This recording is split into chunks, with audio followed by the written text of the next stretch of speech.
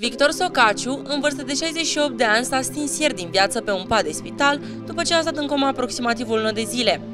Acesta a murit fără a-și lua adio de la cei copii ai săi, pe care i are din trei căsătorii, și anume Iulia, fica cea mare în vârstă de 40 de ani, Alesiana Maria 33 de ani și Victor 23 de ani.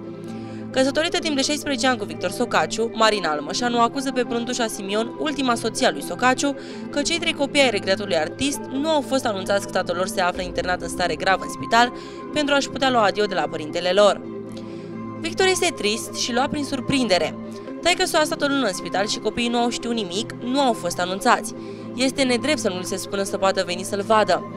Femeia a este și ea mamă de copii, ar fi trebuit să se gândească la faptul că au dreptul să-și vadă părintele la despărțire, a declarat Marina Almășan. Sicriul cu trupul neînsuflețit al lui Victor Socaciu se află depus la sala Palatului, acolo unde prietenii apropiați și toți cei care l-au apreciat își pot lua adio de la artist. Din ce am înțeles, înmormântarea va avea loc poi mâine la Cornu. Nu cunosc însă mai multe amănunte, a mai spus Marina Almășan. La scurt timp după ce fica lui Victor Socaciu a anunțat că artistul s-a stins din viață, Marina Almășan a postat pe contul personal de Facebook o imagine veche cu ei doi și fiul lor, care pe vremea aceea era doar un bebeluș.